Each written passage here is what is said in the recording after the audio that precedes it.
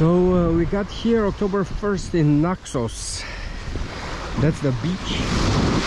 That's our hotel, Liana. And then I just took a swim in the water. It's pretty good.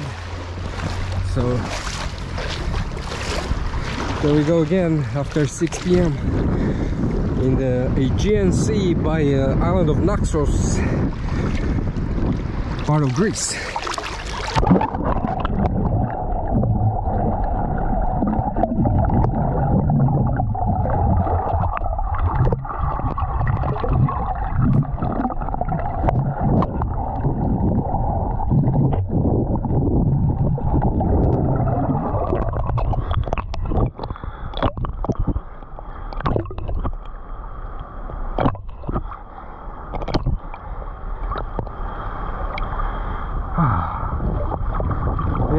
very good.